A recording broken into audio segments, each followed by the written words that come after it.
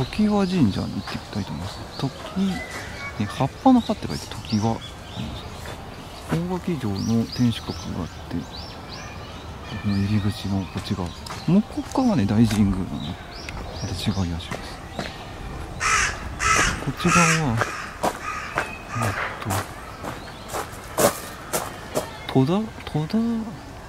藩主ですね。藩主の方をお祭りしてるんですね、うん、時賀城主の藩主の方をお祭りしてるここはあの御朱印がえっと五国神社の方で出されてるそうなので五国神社の方へ社務所行ってみてください。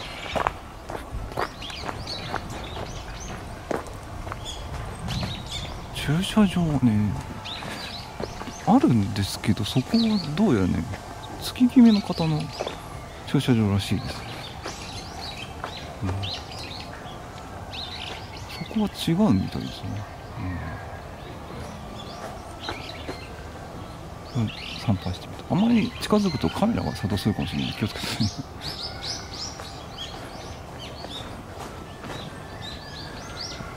ここは止められないんだった。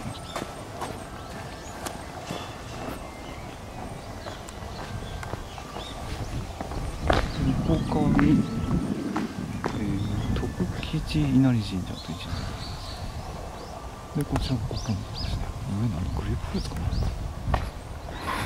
まあこれ柑橘類ですねはい。こちらご本店です。ぜひ参拝してみてください。